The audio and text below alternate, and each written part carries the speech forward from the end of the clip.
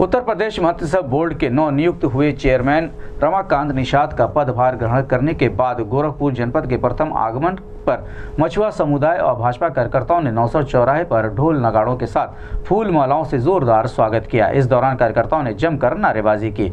इस दौरान गोरखपुर न्यूज़ संवाददाता से बात करते हुए मत्स्य बोर्ड के चेयरमैन रमाकांत निषाद ने कहा कि गोरखपुर मेरा गृह जनपद है। पूज्य मुख्यमंत्री योगी आदित्यनाथ जी के आशीर्वाद से मुझ जैसे गरीब निषाद के बेटे को यह पद मिला है। मैं पूज्य महाराज जी और भारतीय जनता पार्टी का हृदय से धन्यवाद देता हूँ। और मेरा समाज इस बात को देख रहा है कि आने वाले समय में समाज को छलने वाले लोगों को आगामी चुनाव में माकूल जवाब देंगे। इस संबंध में गोरखपुर संवाददाता से बात करते हुए उत्तर प्रदेश मत्स्य बोर्ड के चेयरमैन रमाकांत निषाद ने कहा।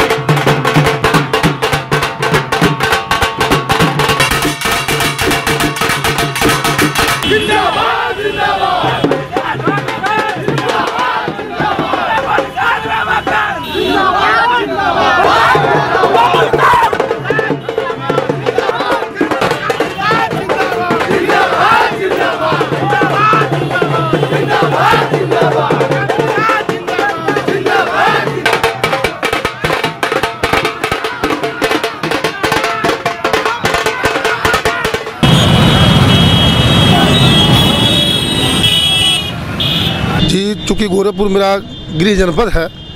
माननीय पूज्य मुख्यमंत्री पूज्य महाराज जी के आशीर्वाद से मुझे से गरीब निषाद के बेटे को यह पद मिला है। मैं पूज्य महाराज जी का एवं भारतीय जनता पार्टी का हृदय से धन्यवाद देता हूँ और मैं सदैव पूज्य महाराज जी का रेडी रहूँगा और शायद मेरा समाज इसको देख रहा है कि आने वाले समय में हमारे समाज को छलने वाले जो लोग हैं, उन सबको इस 2019 के चुनाव में हमारे समाज के लोग उनके मुँह पर मारेंगे। मछुआरा समाज के लिए जो भी हो पाएगा